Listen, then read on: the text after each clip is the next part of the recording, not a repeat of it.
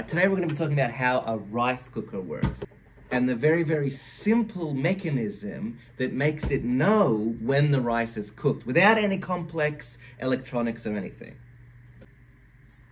To get started, how do we know when rice is cooked? Well, rice is cooked when it absorbs enough water and it has that nice soft texture to it, we all know.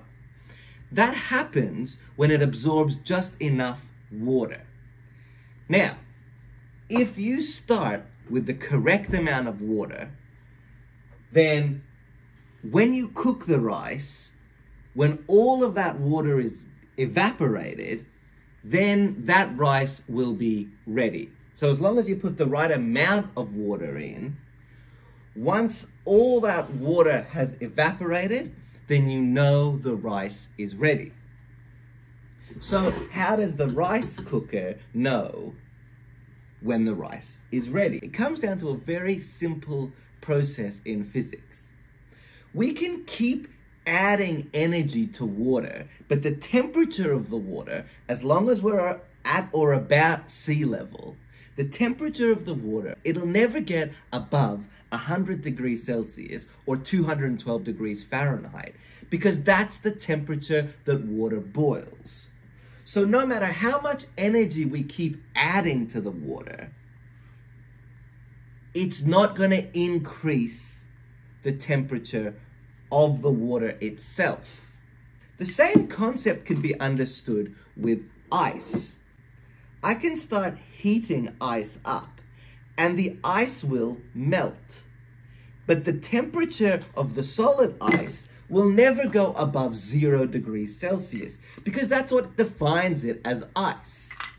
It has to go under a phase change to be able to go to liquid water. And that only happens at atmospheric pressure at above zero degrees Celsius. The same thing happens with liquid water. It's only going to start boiling when it reaches 100 degrees Celsius. So that liquid inside is never going to exceed 100 degrees Celsius. And that's the trick.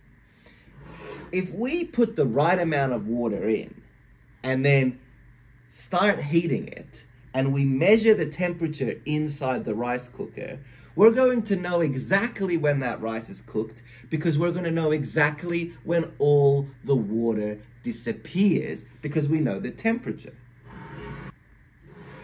So if this rice is sitting here cooking away and we're measuring the temperature of that mixture, that water and rice, it's going to stay below 100 degrees Celsius.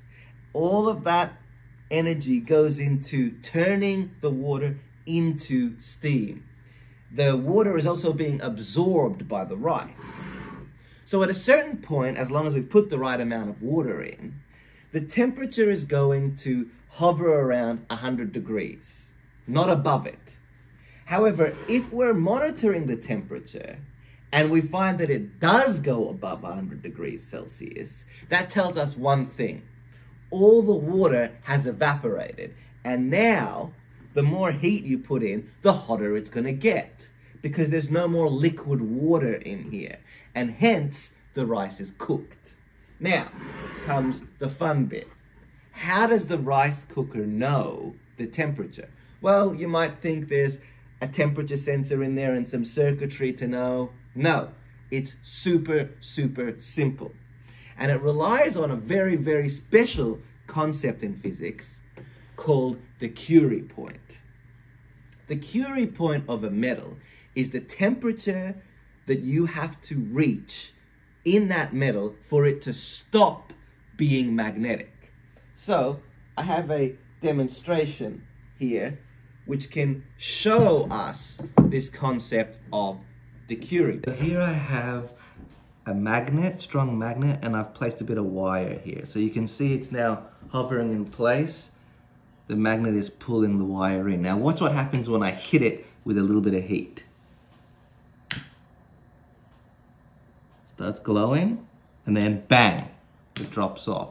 And then once it's cooled down, it's back. So I have this light here. And as you can see, it turns on and off.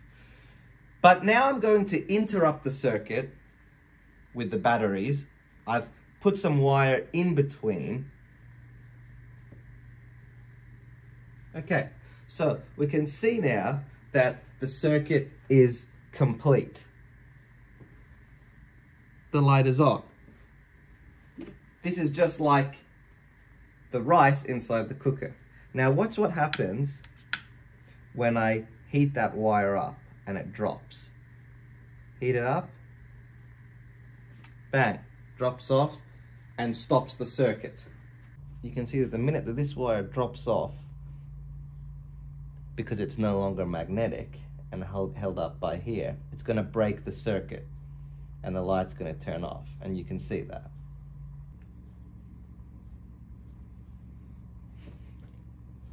And here's the wire.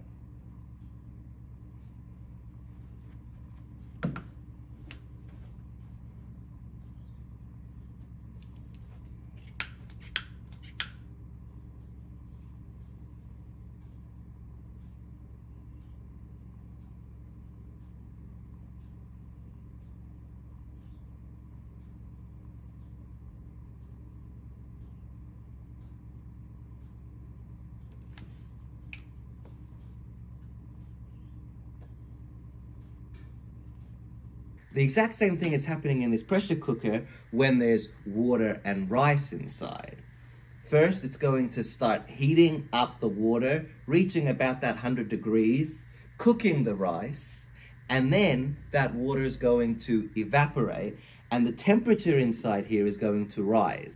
Now, the designers have carefully chosen a metal that has a Curie point slightly above 100 degrees. And that is like the switch we made before.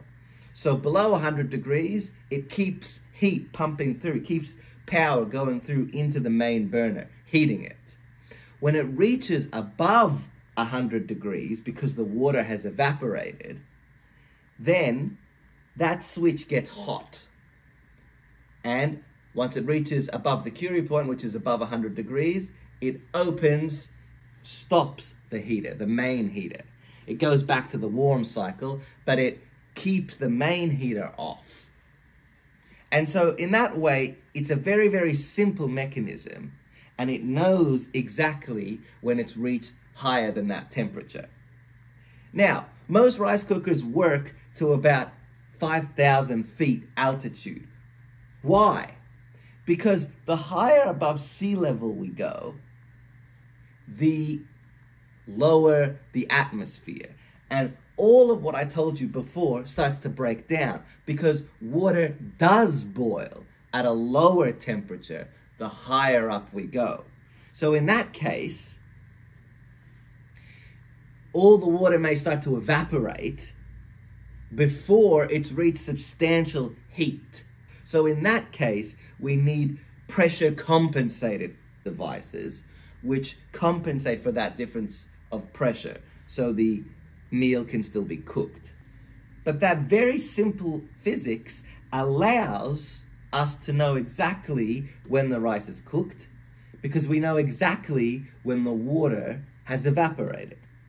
Rice cookers can be used to cook other foods as well because a lot of foods do get ready in that same process. But it's important to note that we have to use this, the right amount of water. If we put too much water in, then the rice will likely become too soggy. If we put too little water in, then we don't have enough water for all the rice to cook. So it will trigger and the temperature will go up because all the water is being used up, but it's not enough water to actually uh, cook all the rice properly. And in this case, we've reached temperature so it's told us the rice is ready.